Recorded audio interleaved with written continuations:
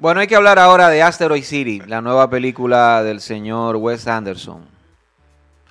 Como está pasando en los últimos, qué sé yo, 10 eh, años, es un poco difícil hacer una sinopsis de las películas de Wes Anderson, porque son como que 15.000 vainas que pasan al mismo tiempo.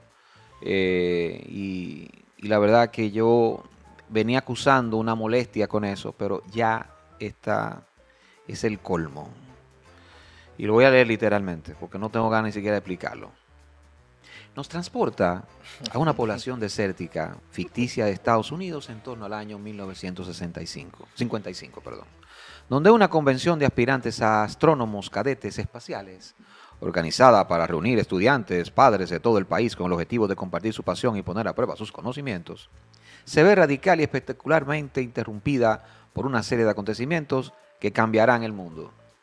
Asteroid City es ya la, culminación de, un Wes Anderson totalmente entregado a lo estético, al goce de, la estética por la estética, eh, donde ha perdido toda frescura, o sea, nada que ver con el hombre de Rushmore a este, nada que ver. Este homenaje a la dramaturgia, o sea, al teatro, eh, y homenaje quizás a cine clase B de películas de extraterrestres, para mí es totalmente eh, improductivo. Eh, sus personajes ya ausentes de emoción, pero sin ningún tipo de, de historia y de impacto, ya sea social, eh, y, ganas de buscar el humor por el humor, pues ya no, para mí no surten ningún efecto. A veces tú te ríes, pero si te hacen así todo el tiempo. Un espasmo. Algo te tiene que salir. Yo la verdad es que creo que Wes Anderson... Creo que no te gustó. No, vuelve. Creo que no te gustó. No vuelve, ¿eh? Está difícil de Porque tiene el ego allá arriba, ¿no? La gente se está burlando de Wes Anderson, como bien debe ser, ¿no? Como lo haría Wes Anderson. Y todo bien simétrico, todo vaina. Y ahora él le molesta, no, no hagan eso. Él le molesta no Sí, él le molesta eso que lo. Pues Entonces, su, película. yo no quiero decir. No, yo no creo no me maten, señores, no me, maten, pero lo voy a decir. Alguien dijo, no voy a decir quién tampoco, pero es que esta película es un meme. O sea. Pero es que es un meme. Es la. La materialización de todo eso que él dice que no hagan, pero aquí eso es lo que él hace. Es un meme. Entonces, un meme gigante. es insufrible, o sea, te lo dice una persona que era fan, yo era fan, fan de Wes Anderson, yo soy arquitecto. ¿Cancelaste su suscripción al club de Wes sí, Yo creo que sí. Yo creo que sí. Estamos en, ¿cómo que se dice? En, eh, en stand-by quizás, vamos a darle un chance. Pero sí, yo creo que la película, bueno, usted, soy fan, soy arquitecto, me gusta el diseño de producción, etcétera. Y siempre me parecía muy interesante, fotografía, son cuadraditos, todo el que es arquitecto sabe que... Esteta. Perfección, cuadro, lindo, todo perfecto, eso ya tú sabes. Pero en esta se convierte en algo que odio.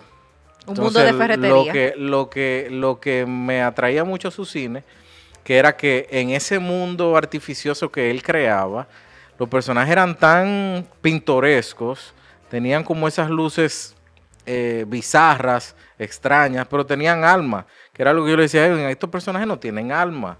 Yo no siento nada por estos personajes que se supone que tienen problemas, situaciones, pero la, eh, el, mundo tan artificial que él crea, que es adrede, porque sabemos que hace un, paralelismo con el teatro y que es una historia ficticia, lo sabemos del principio, pero cuando eso pasa, que eso se ha hecho en cine, tú creas empatía de todas formas y te crees el mundo que te están planteando. Aquí se crea una distancia, bueno, pasó particularmente a mí, por su forma de abordar la puesta en escena. Y algo más que, que, que creo también del teatro, esos personajes no se callan, tienen diálogos larguísimos, sin sentido, sin que tú puedas crear empatía, se sienten actores leyendo libretos. Y, de verdad, o sea, la película me dejó mucho, me dejó deseando mucho. Pero cuando tú la estabas viendo, ¿no te sentiste que estabas en un meme de Wes Anderson? Sí, es lo que te digo. Yo estaba desesperada. Yo sí, yo llegué a un punto que estaba. Ya los lo cambios de, de, asiento, para no decir otra cosa, de don Armando. Yo dije, no, ya yo no puedo más. Se me acabó a, los 20 minutos. Yo, yo dije, bueno, ok. Después que ya yo vi todos los colores, vi el mundo y todo eso, ok, ¿qué pasa?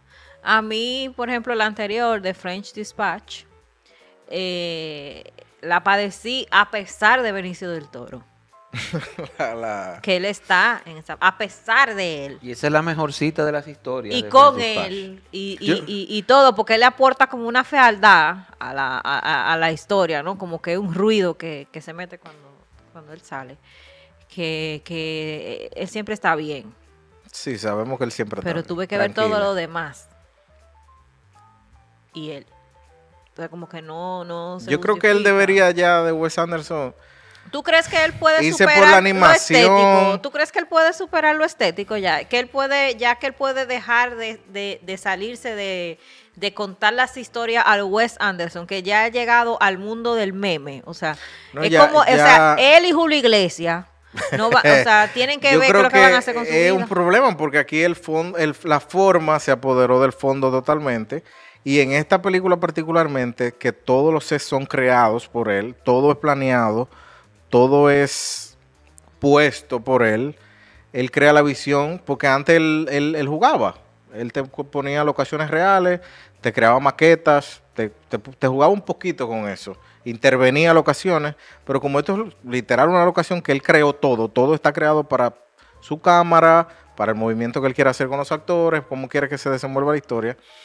Esa, esa, esa imposición de él visualmente es lo que te digo, que crea una distancia que, yo no sé cómo la gente, por más fan que tú seas, tú tienes que ser un poquito crítico y entender que ya él llega a un nivel como que se está pasando. Debes de parar. Se está pasando. ¿Se pasó? Yo digo que es lo que puede hacer irse para la animación, porque la última que recuerdo que me gustó mucho ¿Tú le fue eso? Isle of Dogs. Esa película a mí me parece ah, que funciona muy, bien. La isla de los perros. Sí, yo creo que en ficción per se con live action, como dicen. Eh, yo creo que después de, de, Grand Budapest Hotel él no ha podido llegar a ese nivel. Y I Love Dogs sí yo creo que funciona muy bien como animación. Que hay esos mundos, pero esa película tiene el alma, que es lo que te digo, tiene el alma de esos personajes. Los perros obviamente ayudan, pero... Pero, pero aquí es frío, es, y además es una versión como esterilizada, que no hay nada, todo es muy limpio. Los todo... temas se ven muy, o sea, es muy evidente todo lo que trata. No sé si te pareció eso, ¿no? Porque es como muy específico, bueno, lo del teatro, la, la, la, no hay sorpresa, la realización, todo el asunto de el pueblo, el pueblo apartado, del, de, pueblo chico. Eh, y, sus rarezas de pueblo chico, y entonces te meten lo de lo militar, te meten los extraterrestres, uff, cuarentena. Los niños genios. No, sí, no, uff, la cuarentena no. Yo cuando llegó la cuarentena ahí fue que yo dije, no, pero esto es demasiado ya. No. O sea, también eh, eh, lo de lo de eh, la epidemia y todo el mundo aislado, el cosa que sé yo qué, y entonces el que filtra la información es un chino. No, y el digo, un asiático. Eso fue como que demasiado ya. Y el constante. y ya yo al final estaba como que, que se acabe. Y la constante de él de de insistir con los malditos repartos larguísimos. 15 mil actores, grandes actores, ¿verdad?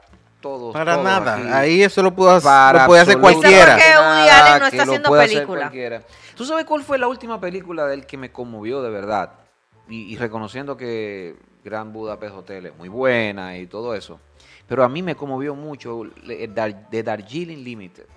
Yo creo que esa combinación de, la, de ese mundo extraño, ¿no? Eh, eh, eh, nerdo, qué sé yo, extrañísimo, sin al, así como sin emociones, más bien, de, de Wes Anderson, combinó muy bien con esta, con esta búsqueda de estos tres hijos de la madre.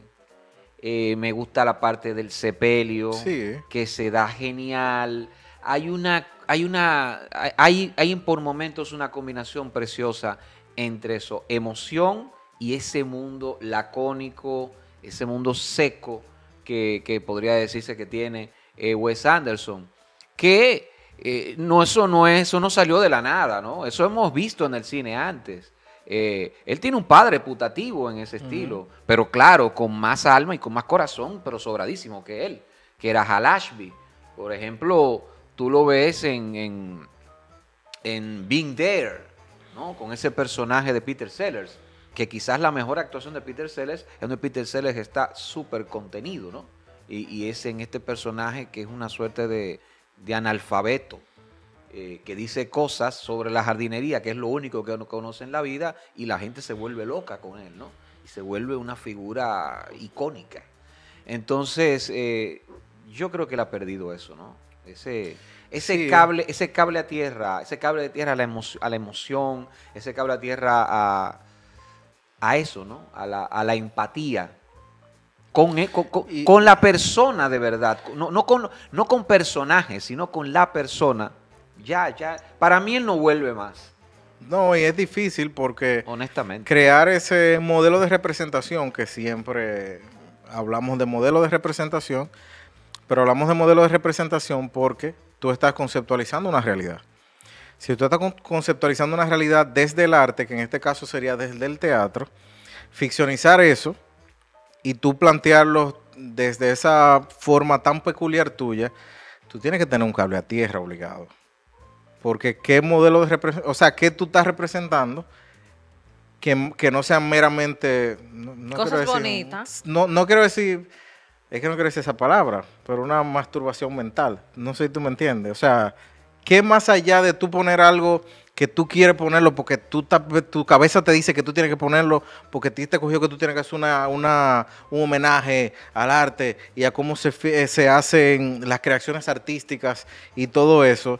Si, si no hay nada de donde tú agarrarse, no hay nada donde tú empatizar, si, si solamente es un, una forma de tú vanagloriar tu estilo, de tú decir todo lo que tú puedes hacer desde cero y con tu visión, ya. ¿Qué, ¿Qué, tú estás dando al cine? O sea, como modelo de tú crear una representación, ¿qué tú das? O sea, no, no hay nada. No, y en tiempos como esto, que lo que verdaderamente importa, eh, ya más allá de la estética, y es lo que se cuente. Cómo se abordan las cosas y, y, y, ante tanto problema que hay en el mundo específicamente, tú tienes que decantarte por uno y, elegir, ¿no? Y él lo que único que elige es su estética. Lo que, le, lo que prima para él es la imagen. Aunque siendo el cine un asunto eh, tan visual, pero es puramente vacío.